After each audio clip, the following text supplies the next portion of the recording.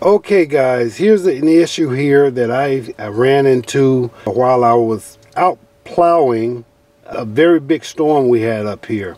So what happened was this light all of a sudden started blinking on my remote to my plow. Uh, I didn't know what to do. I Googled it. I didn't know what to do. I called my brother and fortunately he he have a plow just like mine and he ran into the same problem so what it is is one of the wires out by out behind the plow came uh, unloose i'm going to show you what the problem is and i'm going to show you how to remedy it so that you don't get caught out in the storm like i did and didn't know what to do. So what it is when this light start blinking right here this is the issue.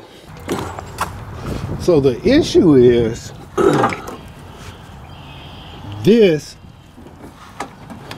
has came loose.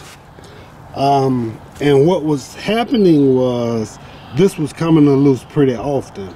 So what he told me to do is, so when you take your plow off of quite a bit, um, I have a, a Western V plow here, and when you take your plow off quite a bit, these prongs tend to to um, go together. Now I have since separated them and so now they fit a lot snug, a lot tighter into these holes right here. Uh, and all you gotta do is, if I can hold the camera here, all you gotta do is just take something, and stick in there and separate it.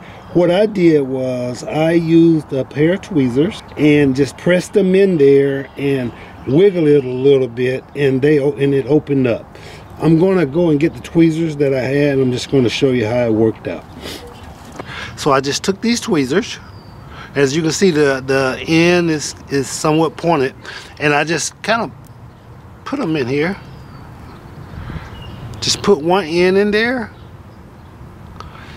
Put it in there like that and just kind of pry open a little bit and then I just did both of them the same way pry open a little bit that way when you plug it back into here it'll get a really nice snug fit up in there and it won't be sliding out while you're plowing. Okay I hope this advice helped you. Have a good one